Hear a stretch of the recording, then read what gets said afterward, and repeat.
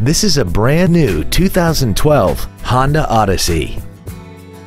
This minivan has a 5-speed automatic transmission and a 3.5-liter V6. Its top features include a multi-function display, heater vents for rear-seated passengers, cruise control, a premium audio system, variable cylinder management, an electronic throttle, stylish 17-inch alloy wheels, a low tire pressure indicator, heated side view mirrors, and the HomeLink transceiver can be programmed to use the same frequency as your remote opening devices, such as the garage door, the entry gate, or even the living room lights, enabling you to control them right from the driver's seat.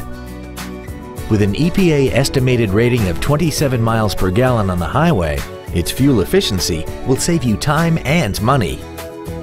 Please call us today for more information on this great vehicle.